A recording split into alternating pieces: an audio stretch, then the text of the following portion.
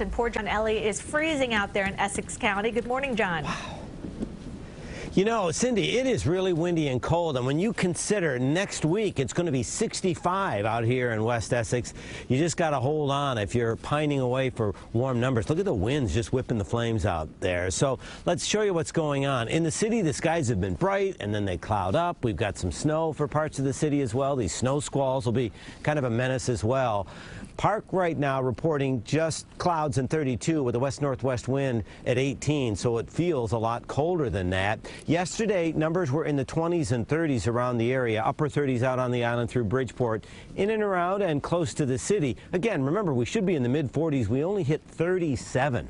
So it was a frigid Friday yesterday, numbers below normal, and it felt like January. Guess what? It's going to be 37 today. So we're still shivering, and those wind chills are going to be in the 20s. Man, every now and then that wind just screams in and fills in out here. Here's the deal that cold riding on that wicked wind is, uh, yeah, keeping temperatures, well, they feel like the 20s, but then just think midweek next week, total reversal. Wind will be delightful out of the southwest, so we'll see the mid 60s for parts of the area by midweek.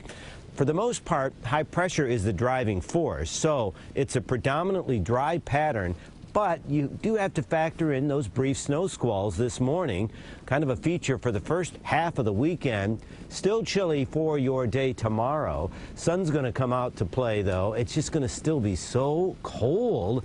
Any kind of wind tomorrow will keep wind chills in the 20s. And then Monday, Monday is the beginning. Monday, we start to see things turn around. 37 today, feels like the teens and 20s. And then on Sunday, it's still cold.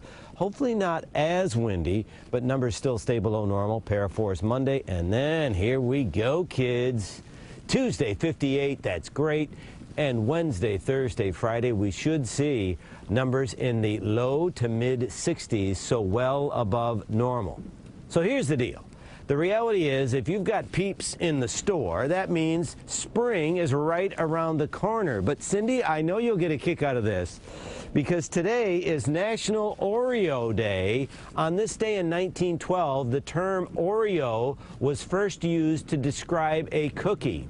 My dear friend Suzanne Donahue has turned Oreos into a work of art. Look what she does with this. It's all geometry.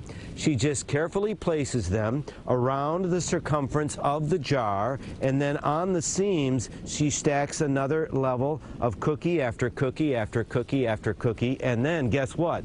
It's all full of cookies too. So uh, ironically, it's also National Dentist Day, so make sure that you've got your brush and your flossing. And then good old Vince, He's loaded up on Girl Scout cookies because tomorrow is the beginning of Girl Scout Week.